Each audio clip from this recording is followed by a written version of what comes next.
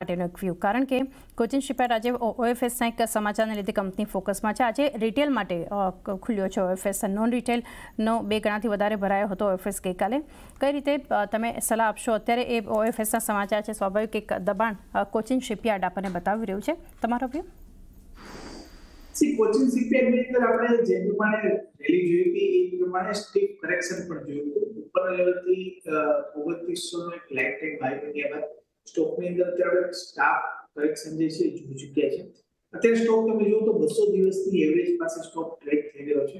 ક્યાંક ને ક્યાંક મારું માનવું છે કે હવે અહીંથી એક ટેકનિકલ બાઉન્સ આવવું જોઈએ.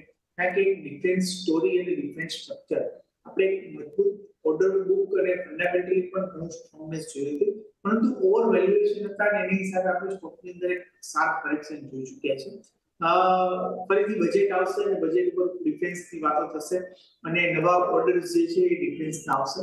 એટલે પર્ટિક્યુલરલી જો એ સેક્ટર જે છે સીપીઆર અને ડિફેન્સ ક્યાંક ને ક્યાંક મારું માનવું છે કે એક અત્યારે હવે વેલ્યુએશન જે છે એનો મને કમ્ફર્ટ આવી ગયો છે. વ્યૂ મારો, મારું માનવું છે ક્યાંયથી બસો દિવસ એવરેજ પાસે સ્ટોક છે લોંગ ટર્મ સપોર્ટ એરિયા પાસે છે. ડેફિનેટલી અહીંથી એન્ટ્રી પોઈન્ટ બને છે. હજી ટ્રેન્ડ રિવર્સલના સંકેત નથી મળ્યા એટલે મોમેન્ટમ પ્લેયરને હું બાય કરવાની સલાહ નહીં આપું. પરંતુ જે લોકો ફંડામેન્ટલી ઇન્વેસ્ટમેન્ટ કરવા માંગતો એને ચોક્કસપણે આ ઓપોર્ચ્યુનિટી છે બાઇંગ ઓપોર્ચ્યુનિટી છે કોચિંગ સિપયાર્ડની અંદર અને કરંટ લેવલથી ખરીદી કરવાની ભલામણ છે સ્ટોપ લોસની જો વાત કરીએ, તો સ્ટોપ લોસ તરફ જોવા જઈએ તો ચૌદસો રૂપિયા નીચે સ્ટોપ મૂકી અને એક લોંગ ટર્મ પોઈન્ટ ઓફ વ્યૂથી કોચિંગ સિપયાર્ડની અંદર ખરીદી કરવાની ભલામણ છે.